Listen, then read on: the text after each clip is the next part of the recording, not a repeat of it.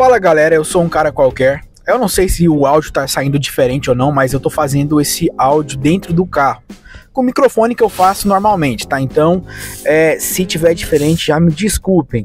Sobre o que, que é esse vídeo, pessoal? Vocês já viram que os lacradores, né, os esquerdolas, os frescolas, eles gostam aí de pagar de moralista. Eles defendem todas essas causas que a gente fala que são causas inúteis. As pessoas normais não se interessam por causas. Militantes se interessam por causas, militantes que são vocais nesses assuntos.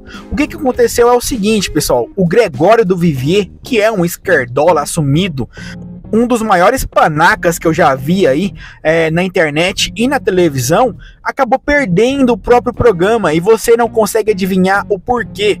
Ou você consegue?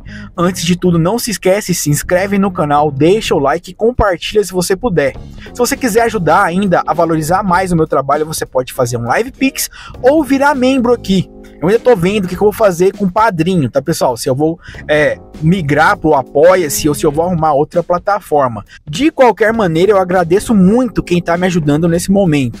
Olha só a notícia, pessoal. HBO Brasil cancela Greg News após sete anos.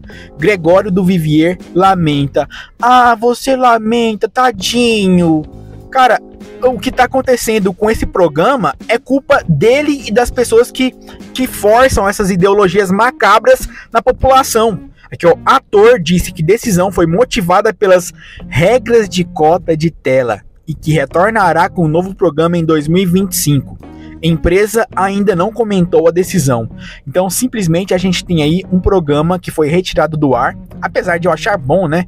Aquele programa inútil que ele soltava só desinformação, foi tirado do ar porque não cumpre as cotas que deveriam. É o mesmo estilo que a Disney fez, né? Tem que colocar cota para fazer filme, para fazer série, tudo tem que ter cota de minoria e o programa desse, desse idiota acabou caindo nessa regra aí que eles inventaram. Bora ler o que, que aconteceu aqui.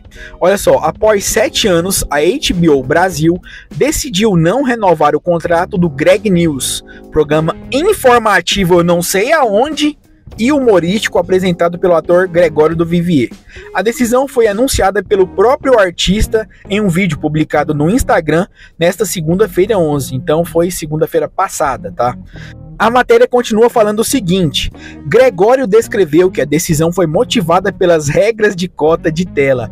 E cara, eu só posso rir por isso. Eu só posso rir, porque é o mesmo pessoal que defende com unhas e dentes essas ideologias que beneficiam certos grupos, certas minorias, que estão perdendo emprego.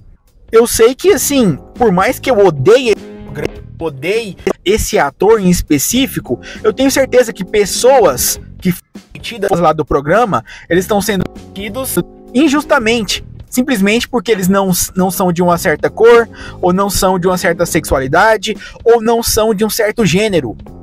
No caso aqui, eu acho que é por causa da etnia, tá? Eu, eu acho. Olha só, conforme o ator, pela lei, a programação não é considerada um programa brasileiro. Cara, olha que piada. É a etnia mesmo que eu falei.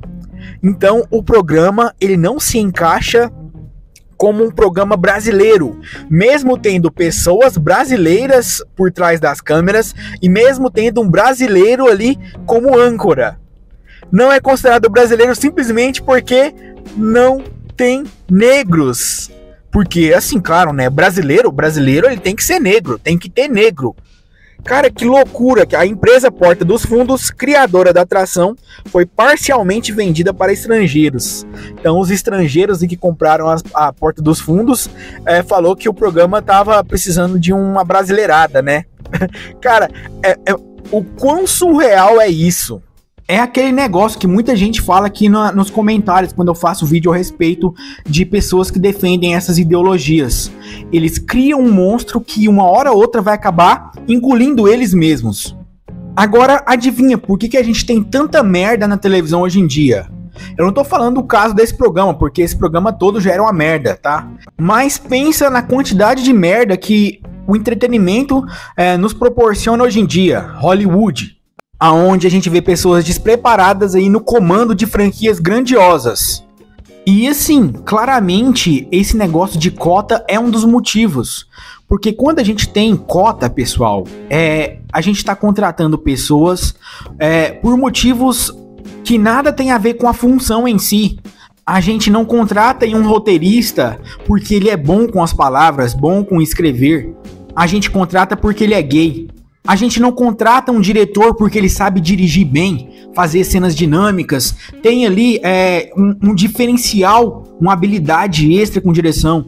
A gente contrata porque ele é negro. Então acaba que você contrata vários profissionais que não são bons nas suas funções, simplesmente por critérios extra função. O que acaba levando a essas histórias que a gente tem hoje em dia: roteiros medíocres, diretores horríveis, showrunners que não sabem o que estão fazendo, e ao invés disso diminuir, não, tá aumentando. Vamos continuar com a matéria aqui, olha só. O artista afirmou que o fim do programa não será a despedida dele da empresa. Em 2025, ele voltará com um programa novo e completamente brasileiro. Até porque ele não é brasileiro, né? Ele não é brasileiro, a equipe que tava lá por trás não é brasileira. Quer dizer, ah, cara, é muita sacanagem isso aqui. E olha que eu odeio esse idiota, hein?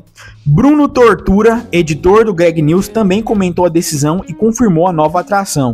Então, para as pessoas que gostam aí desse idiota, fica aí. 2025 ele volta com um programa totalmente brasileiro. Eu só não sei como que eles vão mudar. Deve ser algum outro tipo de programa, né? Porque nesse ele simplesmente dava umas fake news lá. Porque a gente sabe, né? Fake news só um lado pode fazer. O outro lado, tudo é fake news. Aí talvez coloquem ali um negro com ele, um pardo junto para fazer ali alguma graça, né? Porque provavelmente vai ser programa de humor esse programa que ele tinha, esse Greg News, ele era um programa, abre aspas, jornalístico e humorístico. Mas se você for ver a parte jornalística dele, é só aquela, aquela nata do estrume que existe no jornalismo. Por isso que eu chamo esse pessoal de jornaleiro, porque eles não dão notícias, eles simplesmente metem ideologia em tudo. E mais uma vez a gente vê aí esse monstro que eles estão criando comendo o próprio rabinho deles. E com certeza, pessoal, isso vai ser cada vez mais comum, tá? Essas pessoas que hoje protegem cotas, principalmente nessa indústria onde eles sempre foram os reizinhos, começar a, a perder emprego, perder vaga por causa desses monstrinhos, desse monstrinho que eles alimentaram aí nos últimos anos. Mas eu quero saber de vocês, o que, que vocês acham desse assunto? Vocês curtem aí o Gregório do Vivier? Deixa aqui nos comentários, não se esquece de se inscrever, deixa o like, deixa aí a pizza do engajamento se você não tiver nada para comentar. A gente se vê na próxima. Falou, valeu e até.